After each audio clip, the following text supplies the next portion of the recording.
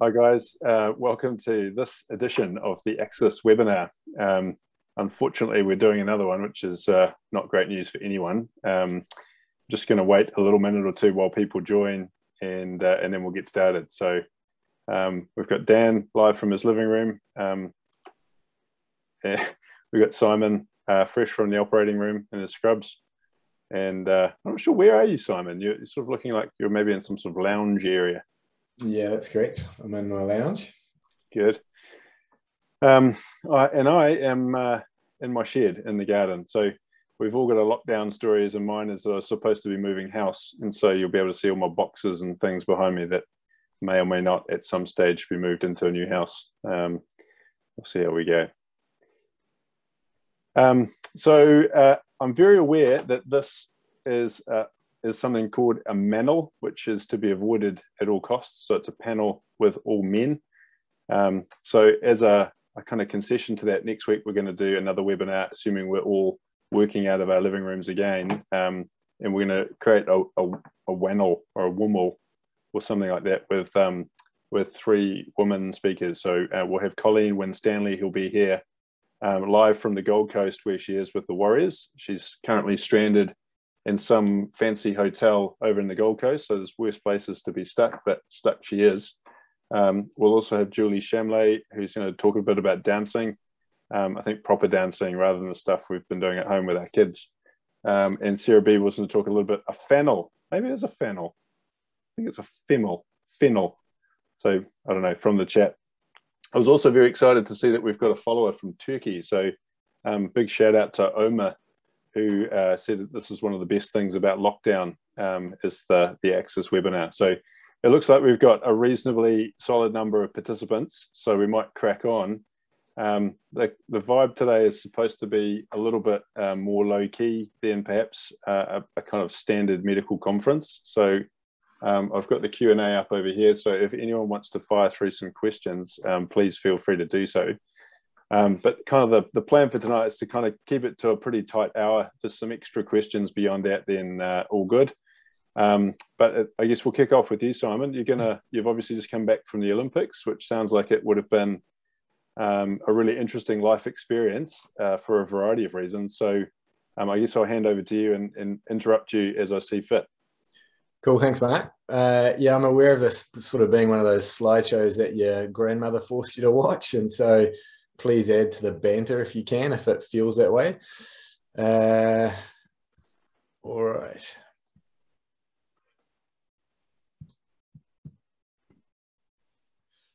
Okay, that's me. So um, obviously I work several days a week at Axis and my other job is uh, the medical director for the men's hockey for high performance sport. Um, this slide sort of is probably the most boring, but symbolizes, I guess, the most important stuff of the trip. So, COVID is the reason we're all here. Uh, cancelled the Olympics last year, uh, and then rightly or wrongly has uh, just gone ahead. But the reality is, is that COVID uh, made it a significant challenge uh, for everyone involved. Um, but particularly from New Zealand's end, because of the approach we're taking, uh, there was a significant amount of logistics involved. Uh, and so we didn't get there without a lot of uh, manpower uh, and expertise and help from a number of people, including uh, the NZOC, High Performance Sport, all the NSOs were significantly involved, and even sort of higher levels through MB. And uh, I guess that next picture on the right sort of symbolizes that. It was the key process for me, I guess, firstly, feeling safe. Uh, and it was the the first point in the journey, knowing that okay, this is something that I'm going to do now. so having two vaccines was key, and uh, I guess it's a good segue to say if you haven't uh, booked yours yet, then get amongst it. It's uh, it's so important. So, did, did everyone know that you can get your vaccine? There's a bunch of walk-up stations. There's one new by the, the airport. We've been sending a bunch of patients out there. So if you fancy getting a vaccine, um, at the park and ride out the hospital, apparently the more people you have in your bubble in your car, the faster you get a vaccine. So um, if you fancy it, then um, that's an option. Yeah, it's a no-brainer. No-brainer. It was, it was uh, fundamental for us going. Uh, this next uh, slide is pretty kind of common, I guess, if you if you tour with athletes. Uh, you know, there's a bunch of people, a bunch of gear standing in line. For me, it signifies the beginning of a very long uh, few weeks. It was the first of many queues. Uh, it, was also the first, um, well, sorry, the last period where we weren't uh, wearing masks for the majority of time. so there was a bit of mask freedom there we went via Singapore, uh, which is obviously 12 hours, and we had a sort of a, a, an isolated stop off there for several hours before the six and a bit hour flight to Narita. We then had six hours of processing in Japan uh, before the hour long journey to the Olympic Village. So it was a, a massive day. It was all going relatively smoothly. We're about to get on the bus as well. Then one of the athletes provided an adequate sample of their uh, saliva test. And so we all had to sit in this windowless room for an extra few hours. So it really just signifies the start of many queues and a lot of processes uh, that took place for us to get there. Um, cool. This is obviously arriving. Uh, if you've been in an Olympic scenario before, this uh, won't be that new. It was, it was my first experience. Uh, it was one of many hakas. Uh, the first one that was directed at me. And then I, as a privileged white male, was able to sort of sneak my way from the back further up the front as I grew in confidence. Um, it's pretty hard to put into word uh, the, the feeling that you get, um, both with this welcome, but also uh, the, the team spirit it encompasses. It's pretty cool. And every time an athlete arrived, they'd get this. Every time they medaled, they would get this. And you can imagine the crew got bigger and bigger. And as the Olympics wore on, the feelings uh, sort of improved as, as as we approached the Olympics. Basically, we were on our own, and so this had even more meaning. It also served as sort of our orientation. It was a bit of a chance to go through the medical protocols um, and go through the the Te Manaakitanga, which is basically the the NZOC values, uh, which includes a lot of sort of attitudes and behaviours as well as the medical protocols.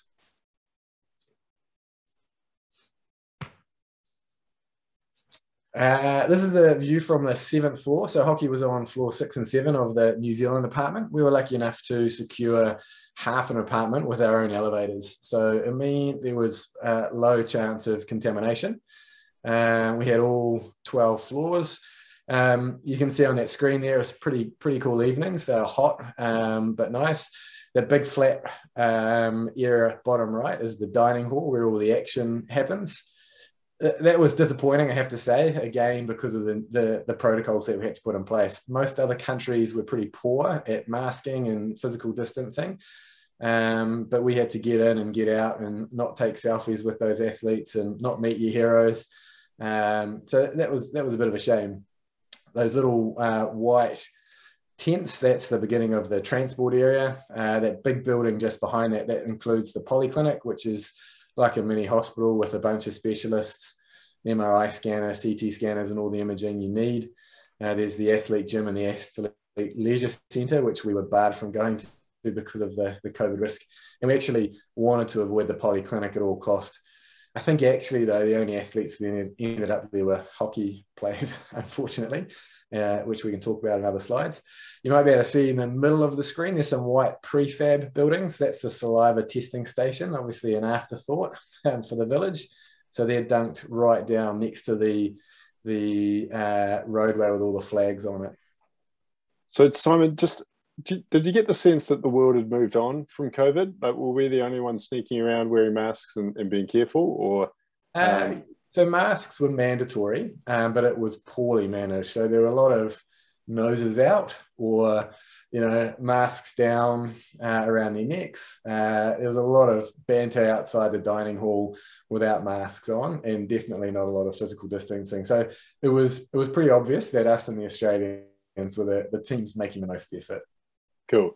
Hey, and just remember to everyone that if you do have questions, let's try and use the Q and A. So if you look down the bottom, there's a Q and A um, button um, the chat works fine, but um, if you go Q and A, we can share that more widely. So um, have a look at that. Yeah, the rest of our building, which I haven't got pictures of, obviously we had an apartment set up, so there were four single rooms, which was quite nice for a change. So I got my own room. There were two doubles, and then you had a little communal area. You were only allowed out of your masks when you're in your rooms, though. Um, Did you jump up and down on your cardboard bed? Uh, I didn't because uh, it was the only bed I had, uh, but that was quite a common theme. It was pretty hard. I, I, think it would have sustained my big frame anyway. Jumping on it, it was it was pretty solid. Cool. Boring photo, but this really sums up a lot of my work, to be honest. So in the top right hand corner, you can see the thermometer, uh, and then there's 21 um, saliva vials there. So we tested every day. There were 52 uh, hockey personnel that needed testing. And every morning before eight, it would piss me off as I would have to wake up athletes or tell this person to do it every single day.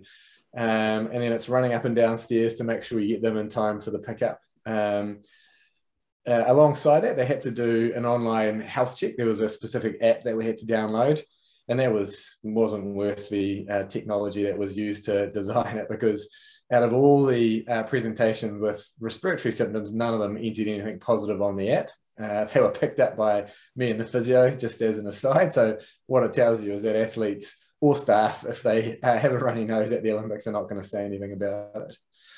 Um, but yeah, there was a lot of logistics involved in those saliva tests. They were in my opinion, significantly important, particularly from the New Zealand team. So we knew that every day when those tests were done to a, a, reasonable degree of accuracy, that we could say that our team didn't have COVID.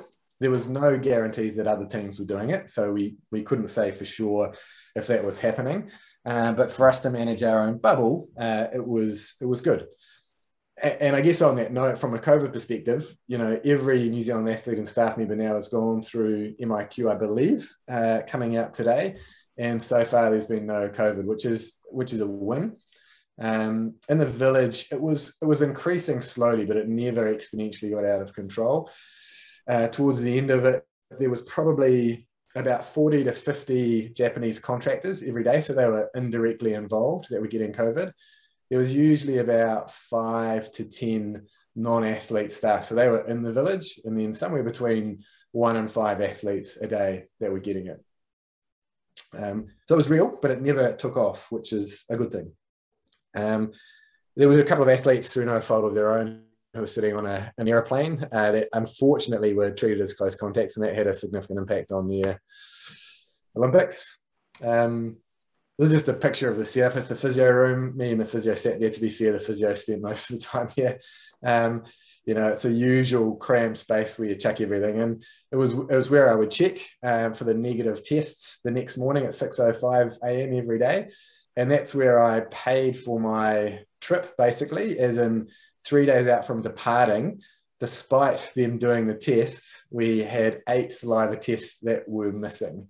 And so we had to scramble in order to get our tests so that we could leave um, done in time. So I feel that checking every day was enough for me to, to warrant being on the trip because I was able to pick that up and those uh, seven people were able to come home uh, when they were supposed to as well.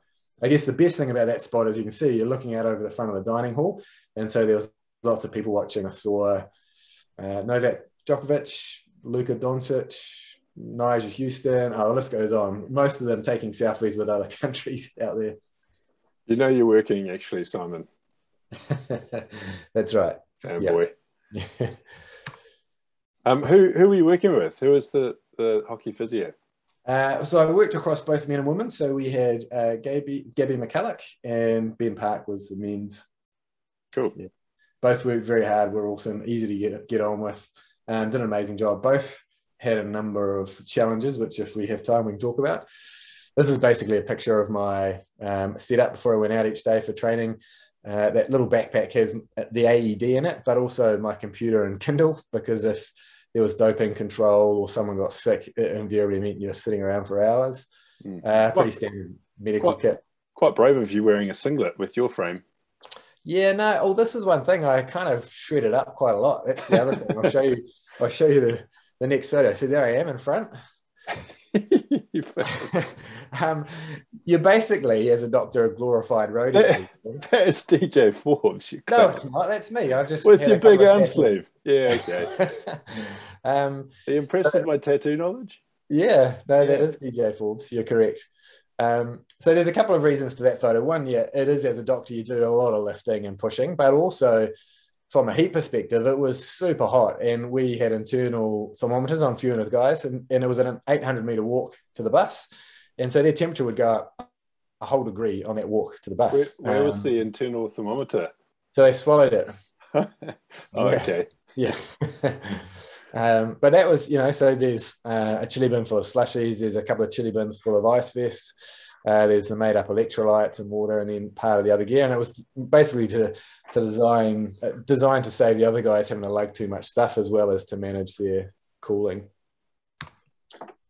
Uh, it's part of the heat process as well. So um, we had one game where heat protocol came into play. Uh, there were definitely uh, games in the semi-finals for the men and women where the full heat protocols came into play. So if it was above 35 degrees, you got two minutes per quarter. Uh, and if there was it was above 42 or if uh, there was associated high humidity, um, they would have a seven and a half minute break as well. And we routinely played in above 35 and routinely had humidity above 80. It was really hot. No, but just using ambient temperature. It wasn't a. I know that that um, has the ability to check humidity, and it gives you a wet bulb, but it also gives you a heat index. And so, yeah, heat index was getting up to forty. Um, I can't remember what the wet bulbs were, but uh, they were they were pretty impressive. Some of them. Mm-hmm. Um, obviously, he was a big factor for the Olympics. We worked on that pretty hard before we left. Um, there was you know, heat acclimatization stuff. There was a bunch of protocols set in place. Um, when we were there, we had pre-cooling, slushies, ice vest. We had uh, a bunch of stuff in the sidelines and, and stuff afterwards. But despite that, we had two athletes who who developed heat illness. It was it was probably one of them was well, both of them were through no fault of their own. One of them was during doping controls. They didn't have adequate separation from the public and COVID risk. So this poor athlete to go sit outside in the blazing sun for two hours before they got their ride home and the other one was an athlete who had an UTI before she left, and that I just think knocked her around a little bit. Uh, and both of them suffered with fatigue, vomiting, uh, and it affected their performance. They weren't super sick with it, but it certainly had an impact on their performance. Uh, uh, it's not a very clear photo, and it may look a little bit uh, unusual with one of the boys doing some uh, some gun work in the middle there. But basically, that was one of the changing rooms. Uh, it was fully aircon. There was an ice bath in the back there, but it was pretty tight. But also, we developed a modified um, in changing room warm up to minimize time on the turf. And uh, the jury's out, I guess, whether that was successful. You can see one of the boys there has his uh, ice vest on as well. Uh, some of them being good and wearing their masks in the changing room as well, which was optional. Um, yeah, this, this, is what it was all about. Uh, obviously, this was uh, a big game for us. Uh, didn't go as we had planned, but we pushed the Aussies uh, pretty close in the end. I guess from an overall campaign, it was relatively disappointing. We um, uh, we went out earlier than we had hoped, and that created some challenges. We also had three hamstring injuries in a single tournament, all of them essentially uh, tournament ending. Um, and so that'll require a little bit of a review as to why. Um, we've got some theories that are going. We also had another adductor injury. We had two relatively reasonable head injuries. Um, and then there's all the kind of stuff that goes in for the athletes um, when, when you go out as well. We had uh, one confirmed retirement. A lot of athletes are considering it. There's a bunch of athletes that have put a lot of work in to be there, so they're pretty disappointed. And what I meant for us is that we were stuck there for another week without anything official to do, which meant there were challenges in promoting the, you know, the hygiene protocols, um, you know, managing things like access to partying and getting out and doing things you shouldn't. You may have heard what some of the, the Hockeyroos or the, or the kookaburras did. Um, yeah, so it was it was it was difficult not doing as well as we would like, and I guess everyone goes there always wants to medal, and so it leaves a, I guess, a, a feeling of unfinished business for me anyway. This really epitomizes, I guess, that period afterwards, though. Um, it's, uh, I guess, the New Zealand team uh, hunkering down and supporting all the other athletes, and so you couldn't go to the games. Uh, it was pretty hard to maintain our distancing there, but everyone's got their masks on. Well, most people, I can see one actually doesn't. Um, they were supporting their uh, the sevens women. They won their gold medal. Then it's a pretty cool vibe. Obviously, the whole team gets together, and from people that have been to a number of Olympics, they actually felt that this one had a better feeling because people couldn't disappear after they had completed uh, things. They had to sort of celebrate within the village environment and within the safety of the um, accommodation. And so there was a there was a pretty cool vibe there uh, at that time.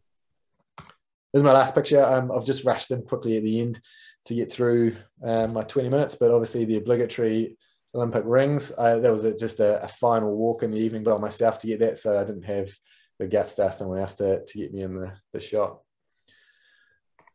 So that's me. Nice one. So um, maybe we'll just can your slides. Um, and that's good. So the uh, there's one question from uh, Chris Milne, who obviously has been to a few Olympic Games himself, um, asking about how you got by when you didn't want to go to the polyclinic. So things like imaging. Um, were you making active decisions to not go? Um, we were trying not to, and it would really boil down to would it change our management? And so, if it wasn't going to have any effect on whether they were able to play, or if the if it was going to help with the planning, then we wouldn't go. Um, so, uh, yeah, so we had four hockey players that used it. Um, in the early parts of the tournament, it wasn't too bad. You're able to book a time, and they would keep that time, and so you could be in and out. You'd literally book the time then see the orthopedic surgeon. They'd go, "Do you want us to assess you, or do you want an MRI scan?" And we'd say, "We want an MRI scan." And then they'd say, "Do you want a report?" Uh, or just the CDM would say, "No, we don't want a report." And so we'd be in and out pretty quick. Um, but towards the end of the tournament, it was just chocker with every nation you could imagine, and so the risk significantly ramped up, and there was quite a long time spent in there. Um, and you could argue the things that we used it for probably didn't make any difference in terms of changing management. And so to answer Chris's question, um, we thought about it, but in the end, it probably it probably didn't change how we manage these ones. Cool. Um, so yeah, look, thanks for sharing those those thoughts, Simon. And uh, it looks like you had a good time. Still not sure about the singlet, but there you go.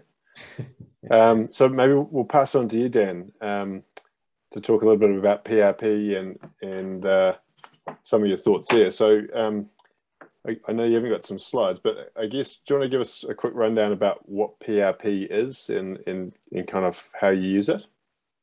Yeah, thanks, Mark. It's always um, hard to follow up a person who's got the nice pictures, but this is just me sitting in a room. Um, so, look, I'm sure many of you are aware of what PRP is, but just a bit of a, a bit of an overview. You take uh, you take some blood uh, out of the person and you spin that blood down and you, are trying to get the platelet fraction out of the blood. Um, that platelet fraction's got lots of growth factors in there which help create um, almost sort of a pseudo positive inflammatory response. When I say growth factors, you don't you don't end up regrowing anything, um, but you take that take that blood, spin it down, take the platelet fraction, and then you can use uh, that platelet fraction to inject back into that same person uh, and the primary indication for it really now is um, where the real evidence base lies is, is uh, with knee osteoarthritis. Okay, so essentially take the blood, spin it down, make the PRP and stick it back in. That's the sort of idea? That's the idea, yep. And you just, you get a bit of a hand from a, from a kit that gets produced by a manufacturer to help that spinning process and help the separation process. Okay, and so what's the evidence saying about PRP? What's the uh, yeah, so the good thing is that the evidence is increasingly getting better all the time, and so um, it's gone from being something where, yeah, maybe it might help, and we think this could be a good idea, to something where there's a really good, solid evidence base supporting its use, uh, particularly and specifically really around knee osteoarthritis. So, really nice study came out last year of a, of a meta-analysis of, of 21 randomized controlled trials comparing PRP to cortisone, uh, hyaluronic acid, which some of you might have heard of, which is a copy of the lubricating fluid your knee makes, um, or saline. And um, that clearly showed that, that of those three injections, uh, essentially a placebo cortisone or hyaluronic acid PRP uh, was the most effective at improving people's knee pain um, and improving their function using a couple of outcome scores. And what about uh, say tendons and other other kind of indications? What's the what's the evidence say there? Yeah, so look, not as not as strong as it is for for your for your knee arthritis or your knee chondral injuries or uh, potentially some other joints. Um, a, a, little bit of an, of evidence perhaps developing around uh, tennis elbow, um, but not really the evidence base that we're seeing for for knees, where you know it could be argued that for some people who've done the hard work, gone through some solid rehab, um, and are, are, are, not a surgical candidate, that it, it, really should be a key part of people's um, treatment options. Yeah, so um, I just I should say there's some questions that have been sent in before from Leanne and others, which um, I'm kind of going to try and throw at you as we go. But um, I guess you mentioned as part of a, a, rehab plan, like is, is a PRP injection, is that kind of like a first line treatment in your mind? Is it second line treatment? When when would you consider talking to a patient about that? Yeah, look, great question. I think that it's it's part of a part of a pyramid, I guess, that I talk to people about, and the, the base of that pyramid is is is rehab, uh, a real focus on on cycling, um, some strengthening work, and look if possible in that pyramid, at the base of that pyramid, you're trying to encourage uh, some weight loss. Even a small weight loss can be really helpful for the reduction of knee pain. Um, the tier above that, you might think about simple analgesia, and then that tier above that, where you know traditionally we've used cortisone, and, and there still is a role for cortisone injections, in my opinion, in this. It's that next tier where PRP comes in, but you know many people on the call here will be physiotherapists, so managing people who who you know really given really given it a good go, they're already well into that second, third tier. And so uh, it's a good option at that time. So just on that, so one of the questions from Leanne is around who can refer to us for PRP injections, you know, where, what's the process? Yeah, look, it's just uh, anyone really. It's uh, same as our normal referral process. Um, I think the expectations uh, of the patient should be that we'll certainly discuss it with them. It doesn't mean that everybody who gets referred for PRP is a candidate for PRP, um, but it's something that you'd uh, you know that you'd discuss with uh, with those people. But we'd always talk to them about that suite of options and making sure they know where that sits. Um, it's not a case of turning up, having done no work, and, and thinking that uh, that's the best first line option for everyone. Um, so Simon's just alluded me to the fact that I've been ignoring all the questions. I was looking at the answered ones, which was really good. Um, so sorry to those of you that we haven't got to some questions yet, but we will come back to them. Um, this one from uh, about uh, potential risks associated with PRP injections. So you've got any thoughts about that? I was hoping to get to answer some of the Olympics questions. no, regrettably not. Just, just you, you could have if you'd gone, but you, you chose not to go. So oh, thanks for reminding me of that it's uh, still a functioning marriage, which is quite good as a result. Um, the uh, not saying that you don't, Simon. I'm sure you do. Um, so the uh, risks involved. Look, I mean, the risks are theoretically actually less than the risks of the injection of cortisone because you're not injecting a substance that has a has a sort of a minimal immunosuppressive effect. So it's simply a, a very small risk that comes anytime you have a needle penetrate the skin. There's a theoretical risk of infection, but again, theoretically, that should be less than the one in 15,000 that we, that we quote for cortisone.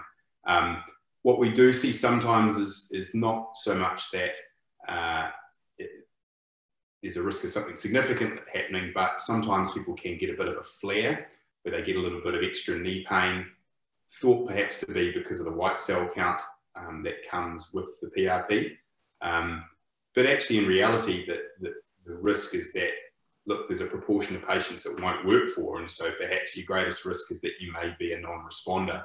Um, I guess those of you who do a bit of reading around knee arthritis will have read that there's sort of a thought there might be multiple phenotypes and perhaps different treatments work better for different phenotypes. And so we haven't really teased that out yet to know who might be better, um, you know, who might be a better candidate based on sort of how they present. Okay. Um, some really good questions coming through here about um, when, what is there stage or type of arthritis that you would think that PRP might be more suitable for? Yeah, so good question. So look, it, it generally works better in people with lower grades, um, and it seems to work better in, in medial and lateral compartment pathologies compared to the patellofemoral joint. Um, and generally, if you've got a significant alignment issue, that's another cohort that probably don't do you know quite as well. Um, but yeah, those sort of grade one and two uh, patients are generally the ones who will do who will do better. Having said that, um, you still see responders if you look at the evidence in those higher grade uh, scenarios. But you know, you're putting them into the mix with all the other options because you know we do have to remember that that in some people, it might, it might not be the right thing for a whole variety of reasons. Um, I guess one of those reasons might be cost. So, um, you know, like I'm aware of, say, for example, stem cells uh, and people going to Australia or at one point going to Australia for a $12,000 stem cell procedure. So, what sort of costs would a patient sort of expect to, to pay? Yeah, so look, we, you come to us, it's, it's, it's $600 for, for one injection and it's 850 for, for bilateral. So look, that's not, um, you know, that is, that is a reasonable uh, amount of money. I think um, those of us, I guess, those of you who are familiar, I guess, with the way we practice will recognise that we're, we're, I guess, a relatively conservative bunch, and I think we've got to the place where the evidence base makes us feel comfortable to put this out there a bit more significantly. Um, you know, you, you're really looking at people getting about a, a 50 to 60% reduction in their pain and a, uh, a similar improvement the other way in their overall function lasting anywhere from sort of six to 18 months. And that's, that's what I tell people. But it's one of those things, of course, that if you stand in a room full of 100 people, you'll have a, a, the majority will be happy, but there will be people who it won't respond to. And when you're having that one on one conversation, um, it's all very well to quote the evidence, but if you are the non responder, uh, the research paper you're talking about is, is irrelevant to them. They don't care. Mm. Um, and there's a good question here from Paul about what the research is showing about is it affecting symptoms or the disease process? What, what do you think PRP is actually doing inside the patient's knee or ankle? Yeah, so another great question. I think if you define the disease process as, as being a little bit more complicated than we think, let's be really clear. Nothing that we're sticking in knees is regrowing hyaline cartilage, and that includes stem cells. And so when I talk to patients about growth factors, I'm really keen to say, look, you're not growing anything. But if we recognize that osteoarthritis is not just a process of cartilage disappearing in your knee, then we probably are affecting the disease process to some extent, um, you know, reducing or restoring a, a, an appropriate balance of, of inflammatory growth factors and, and cytokines and the like. But I'm really keen to explain to people that you're not regrowing the cartilage. But look, we know pretty well that your knee doesn't have to look normal to function normally. Um, you know, you, you, many of you will have driven uh, a Toyota Corolla in your life, and if you lift the bonnet on that, it doesn't look so flash, but it gets the job done, and that's like many a middle-aged knee. And so, um, yeah, I think we are affecting the disease process, but not in that way that if you take a very simplistic view of arthritis as being a cartilage losing sort of thing. Yeah, um, and there's a couple of questions that are sort of related. Um, one from Mandy about how long you might expect an, an improvement after an injection. Uh, and then the other one was around how many injections might you want to have? So how long do you think you'll get benefit yeah. until you until you'll get there? Yeah. Anything better than that? What I tell patients is that the, the data, the studies usually terminate one year after they start. So they show usually out to 12 months an improvement, but there's one study I know of that's been published out to five years that showed an improvement. So do you do you quote studies like that, or you just sort of say?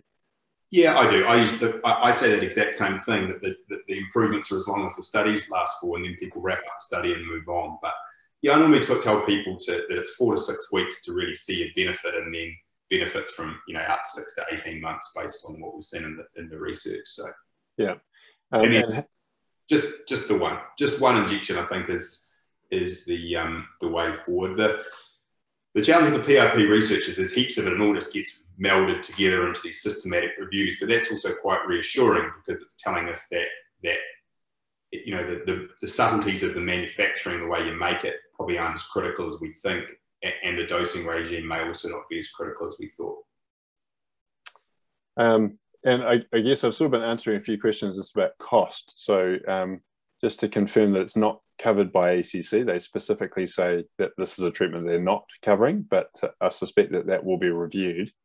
Um, some private health insurers will pay for the act of the ultrasound guided injection, so they'll cover part of the cost of the procedure, but they don't pay for the cost of the actual kit, which, as you can imagine, anything related to health is is prohibitively expensive. So the, the cost is uh, $600 an injection without any insurance coverage, or if people are coming with two body parts, um, it's $850, which just reflects the time um, that's taken to prepare it. So um, I think hopefully that answers some of the questions.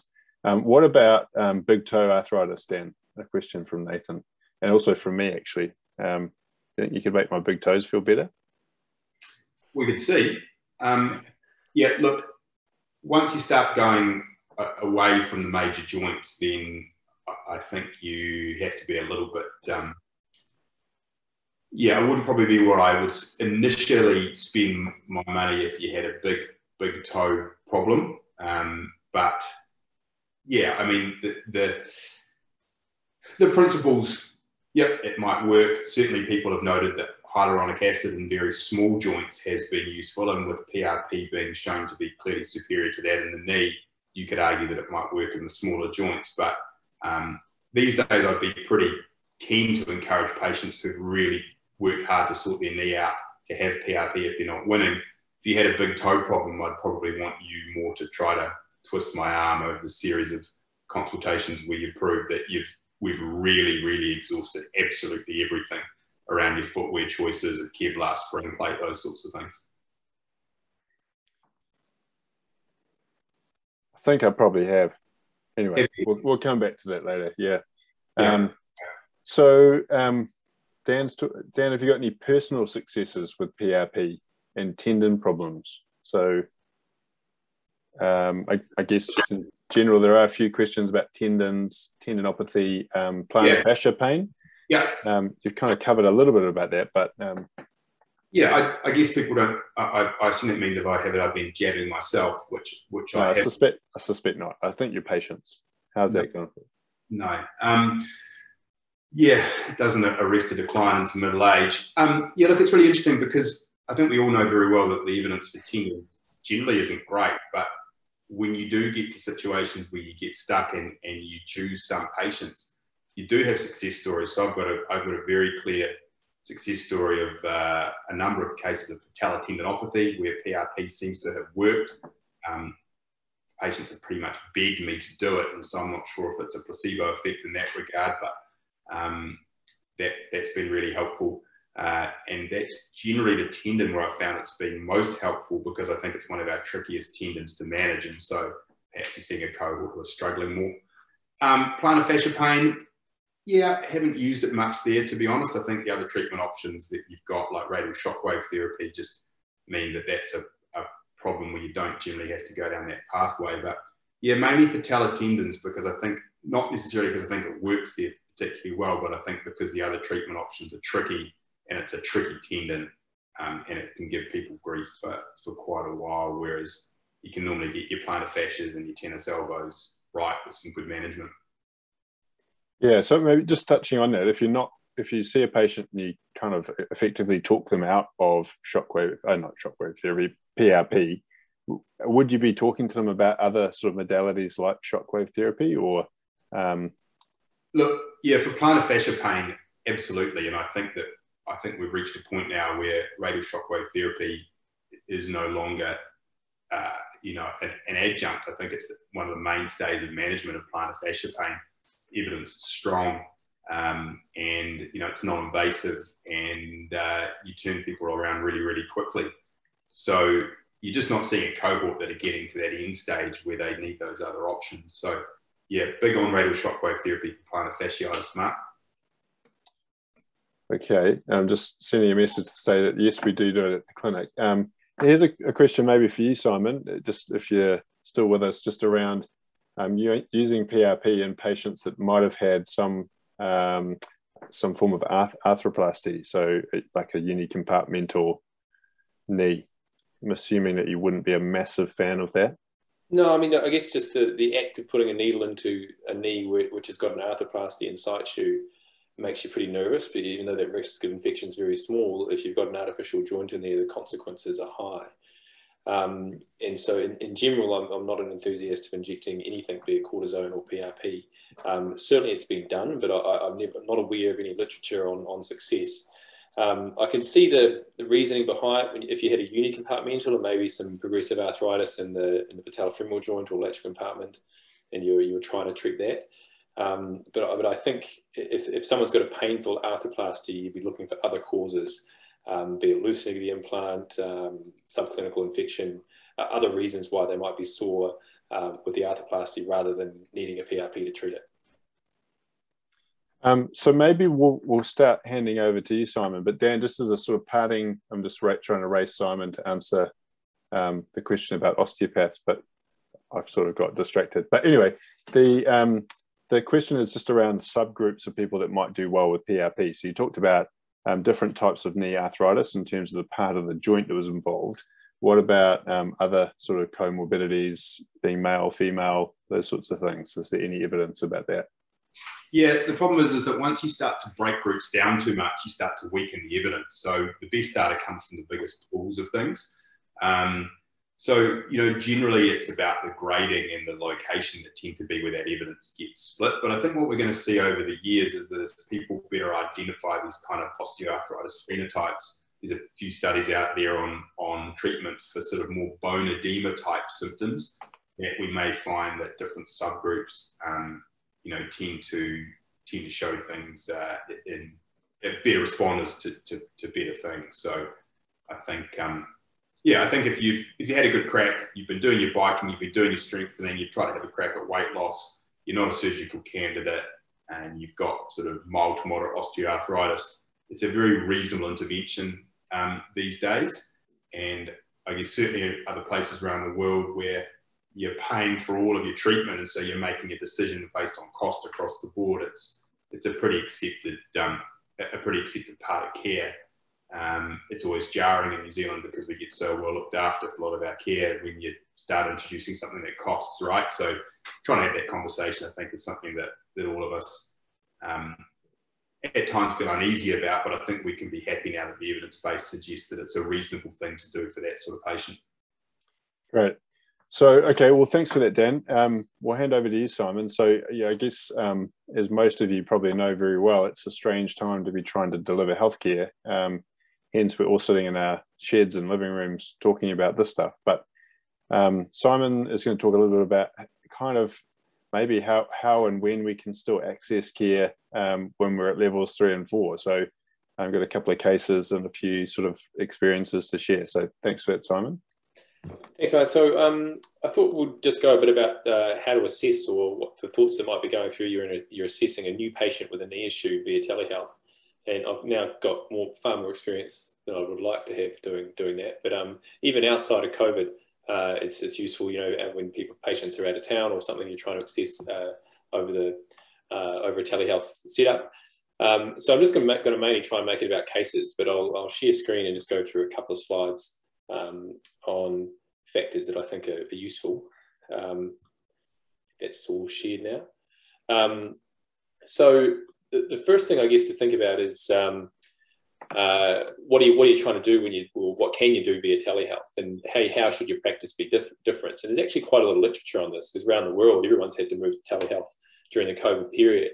And the overseas, I guess more so in New Zealand, where we're a bit more protected by ACC, there is a um, a, a legal risk, I guess, that you're going to you're, you're going to misinterpret signals or um, not pick up something that's serious over telehealth. And there's been lots of cases where that's happened overseas and practitioners have got into trouble. So I think some three rules for it. One is review early. So bring them back sooner than the perhaps you otherwise would. So that way, if you've missed something on the first go, you, you might be more likely to pick it up on the, on the second time. Second is refer earlier. Um, you know, the, the, pathways are still open. Medical care, even at level four, is available. Um, so if you if you're worried, if you're sitting on the fence, I think err on the side of referring early. And thirdly, have a lower threshold for imaging because because that's that's the when you look at medico legal cases that have come up overseas in the last 12 months over over COVID period, a lot of it was choosing not to investigate. So not ordering an ultrasound for a DVT, and the patient gets a PE. Um, just not ordering an X-ray when there was a, fracture that then becomes harder to treat later. So um, I think if you're thinking about something and wondering whether you should get a test again, I think ordering a test uh, via telehealth early is, is a better strategy. Um, things to pick up from the history when you're when you're asking about a knee, and most of the, the, the defining whether, whether somebody's a high risk for a serious problem with the knee is, is about the history more about more than about the exam, and and you can do that pretty well over over telehealth as well as in person. firstly, think of the mechanism. You know, try and think how much force has been applied to this knee. You know, what's the likelihood that something serious has happened? Uh, far, you know, if they've fallen down from a height, or if they just tripped going uh, down down a, a, small step on the flat or, or into the gutter. Um, could they continue or play on? Not many people are going to be playing much at the moment, but um, could they continue what they're doing? And I'm still seeing people now who obviously injured a couple of weeks ago skiing or otherwise um, before the lockdown. Um, immediate swelling, uh, you know, if it swells up immediately, you're worried about blood. If it smells up, swells up later, you're more worried about just a reactive effusion. So that, that history of swelling is, is useful. But most, I find a lot of patients are not very good at remembering, you know, how long it swelled up. They weren't really watching the timing, how long the swelling took to occur. Um, and hearing a crack or a pop is, is generally bad. Um, and, and, patients are often pretty reliable at hearing that, saying they heard a noise. Um, the, the things that you can, can get from a telehealth examination, and there's not many, but I think you can get some pretty key points. Firstly, can they weight bear? You know, are they on crutches or not? You know, weight bearing is a pretty good sign uh, that they're unlikely to have a major fracture and they're unlikely to have a major ligamentous injury. Um, there's always exceptions to every rule, but it's a, it's a pretty reassuring sign to see them weight bear, and equally a worrying sign if they're not. Um, have they got a big effusion? And it's pretty, you're not going to pick up a subtle effusion over telehealth, but you can, and I'll show you a slide in a minute from a telehealth consult that I screenshotted, uh, where you can see that there's a large effusion, and a large effusion would make you worry. Secondly, range of motion. You can you can do a full exam uh, of extension and flexion with the knee, unlike other joints, and, and, I think that provides good information. And then lastly, straight leg raise. You know, can they can they straight lift their leg up straight? And really, all you're trying to do here is pick up uh, evidence of an extensor mechanism uh, rupture. And I sort of put, highlight those four things, and I really think that's you, you, don't need to do much more, like trying to do anything more, ligament exams or anything, or giving the patient a twist or turn to do a meniscal test. It's, it's just not going to be rewarding. Um, so I think you're better off uh, keeping it limited to what you can examine over the knee. And patients have got pretty variable um, internet connections and camera. And always when I ask them to point their phone at the knee, I end up looking at their groin or their foot. It's it's you, you do what you can, um, and really that's a, why I say be more defensive about this because it, it's definitely true that your exam is going to be limited um, over telehealth. Um, this is just an example of a, of a case with, a, with an effusion on the right side. This is about the, what you can pick up, you know, a really large effusion versus not the other side. I find this is quite good as well um, to ask the patient to show you both knees because it puts the camera back further. I always find people bring the camera too close when they're sending you pictures or, or showing a video. If you tell them to put, get both knees in, it forces them to put the camera further away. Um, so rather than sort of talking about it, I thought I'd just go through some cases. Uh, in the first case we've got actually a case from this, this week um, that Mark and I looked after. Uh, I still haven't met this person, uh, but, but we've, I feel we've given her a pretty good um, treatment effectively through, through a telehealth scenario. Um, so she's 62, she's fit and well, she's a, she's a GP here on the shore. Uh, she had a skiing injury uh, about 10 days ago. Uh, she fell over, thought the injury wasn't too bad, but tried to ski down and the knee gave out. Uh, so she had to get help down the mountain. Uh, she's had no previous injuries.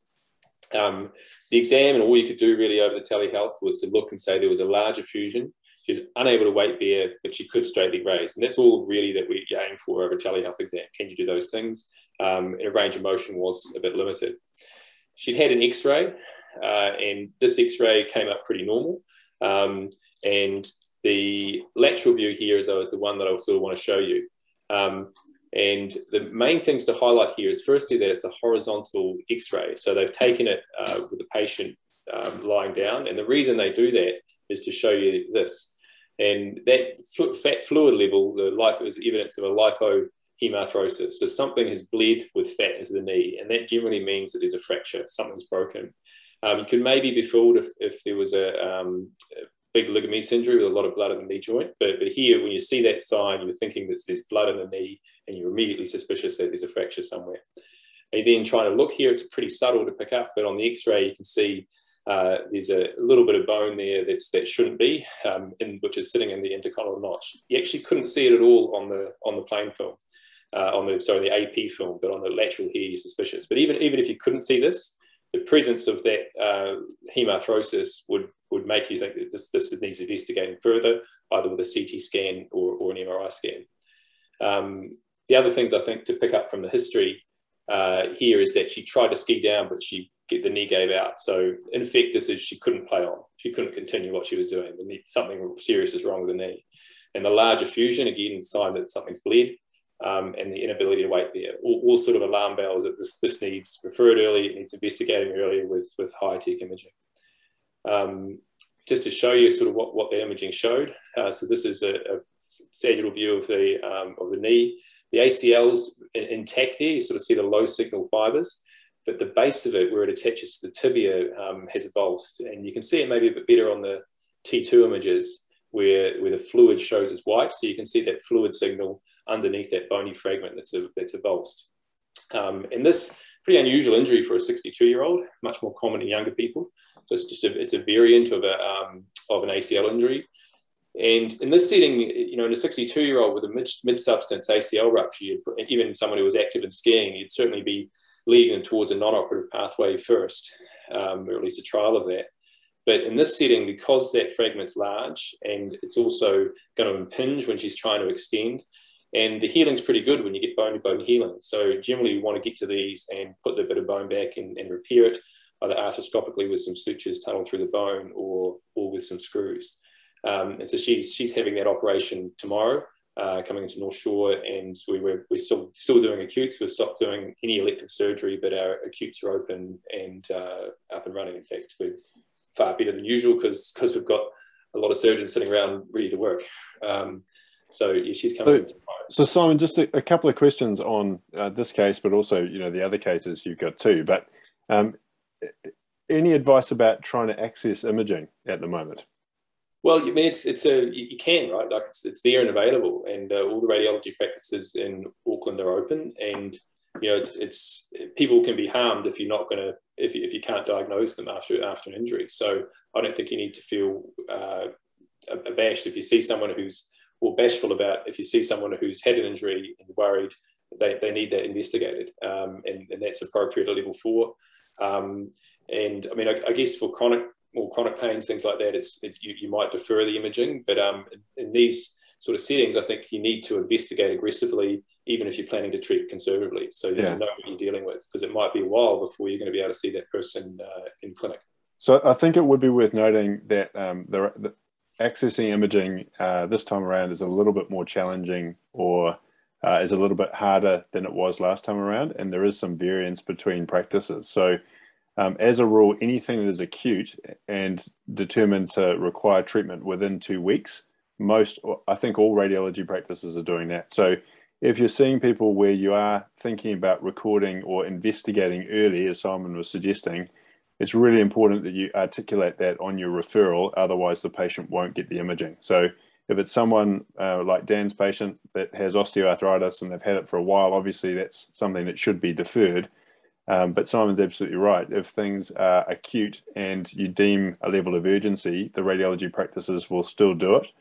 Um, and then certainly if we're seeing patients like this one, I see some, uh, there's some feedback about how we've got the MRI scans. Well, actually for these acute patients where there is a problem like this that is time sensitive or the patient's in pain I'm taking over your talk simon um, we can still actually we can still get this this imaging and it is going to do more harm i think leaving it and as per last time out the, the radiology practices have quite robust processes around longer appointment times taking patients out of the waiting room leaving them in the car getting them through quickly um, so that i think is a, an important thing to realize yeah um, I noticed a question there about um, uh, trying, trying to do meniscal test, any uh, sign or, or, any other meniscal test.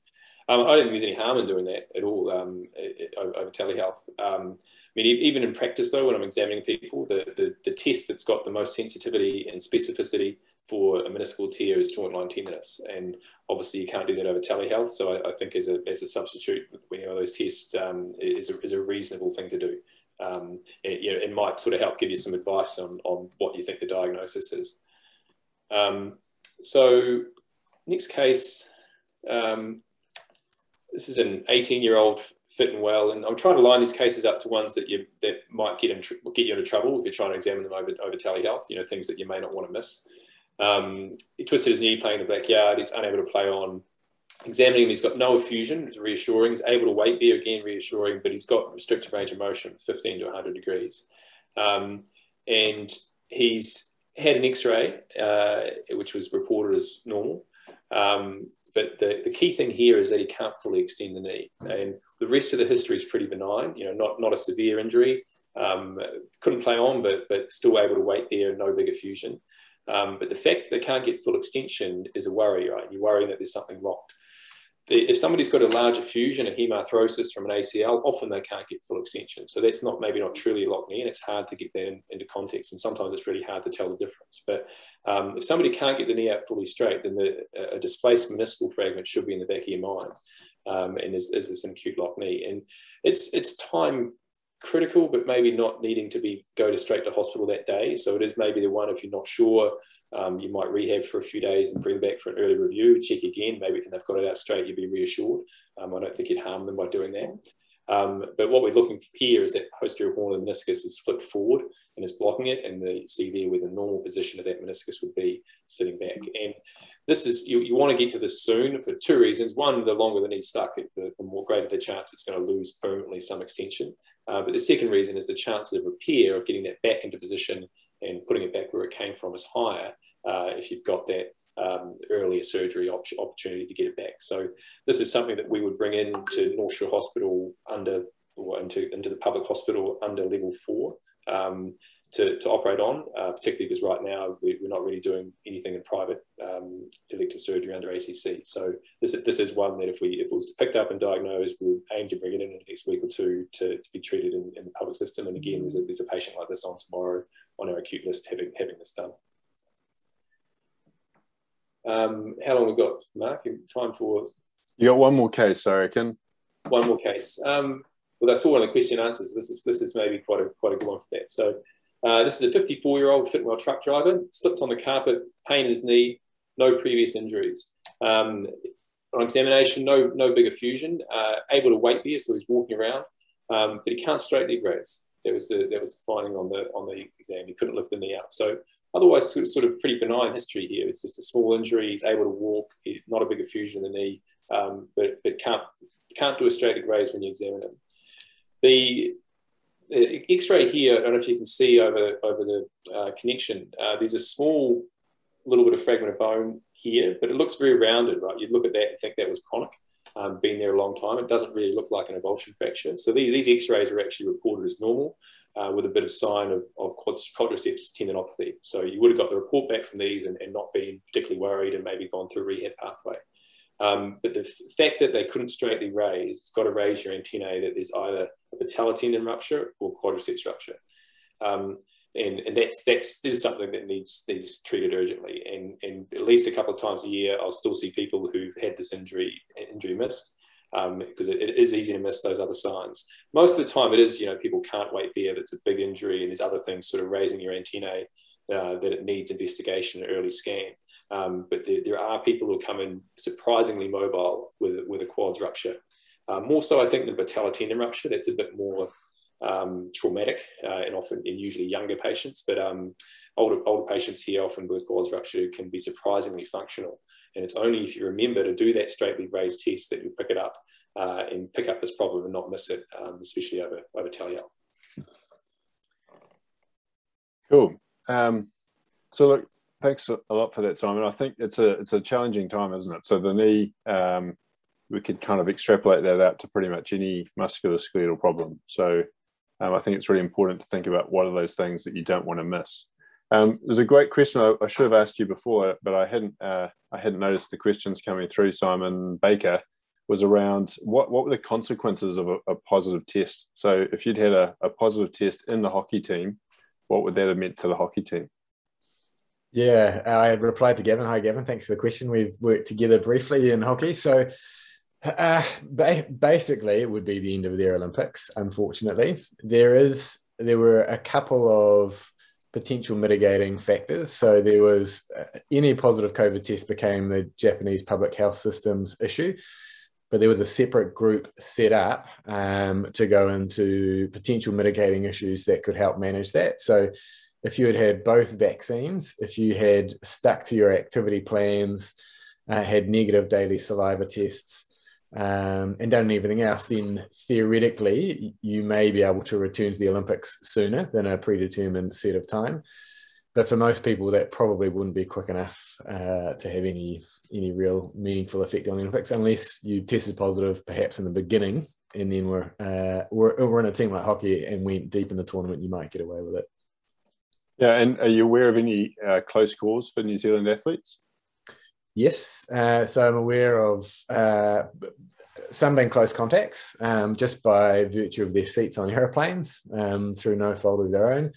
Uh, so some athletes had to spend, as a close contact, their time in isolation in the New Zealand Olympic um, accommodation. So they basically were only allowed out of their room to train and compete. So they had to eat in their room. Uh, so they didn't have a normal experience. But thankfully, there wasn't too many of them. Cool. So um, there, there's probably another couple of minutes if oh, there's a few questions still coming through. So um, with extra time on our hands, any suggestions of good podcasts to listen to? Um, absolutely. I am deep into the Peter Crouch podcast. Has anyone uh, listened to that? So it's a football podcast. It's just all levels of buffoonery that um, while I'm out trying to run around the block, it makes me laugh out loud. Um, fortunately, the mask contains some of that. Yeah, Rose, you know what I'm talking about.